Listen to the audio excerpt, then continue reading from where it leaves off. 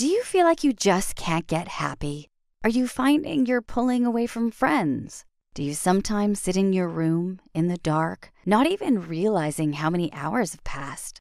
Depression can affect anyone, especially teens. About 20% of all teens experience depression before they reach adulthood. That's a worrying statistic. When singer Willow Smith, Will Smith's daughter, came out and said she suffered with depression, the comments at the bottom of many articles were attacking her, saying, What have you got to be depressed about? A lot of people don't understand that mental illnesses don't discriminate between age or circumstance. Often, depression is even more difficult to recognize in young people than adults. Because as a teen, you experience so many changes at this stage in your life. But the longer you feel this way, the more likely it's going to disrupt your life and turn into a long term problem. So, Psych2Go shares with you five ways to recognize depression.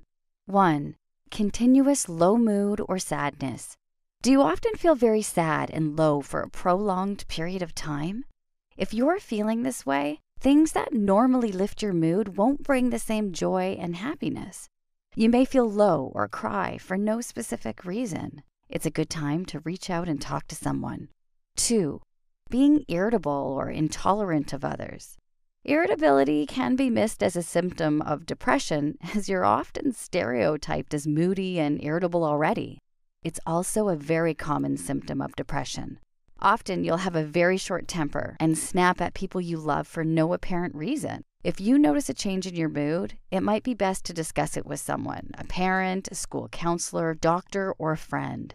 Even if you think you're just having a rough time at school, it might not be depression, but talking it out helps to get the whole picture. 3. Showing feelings of helplessness. If you're suffering with depression, you'll feel out of depth, like you aren't in control of your life. You can feel completely helpless and confused. While these feelings are normal as you go through changes in your body and growing up, be aware if this symptom persists for longer than a few weeks. Feelings of unhappiness, worry, guilt, being fearful, helpless, hopeless, or lonely could all be signifying that something more serious is wrong. 4. Increasing social isolation. Do you want to just be left alone? When you're not feeling like yourself and your mood is low, it can lead to social isolation.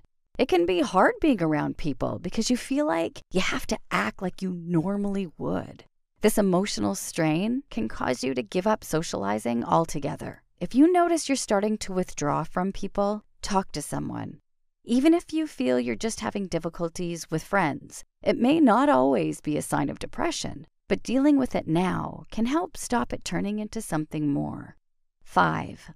Little to no enjoyment of things you once liked.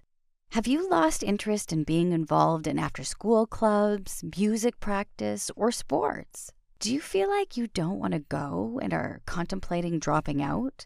You might not even watch your favorite TV shows with as much interest.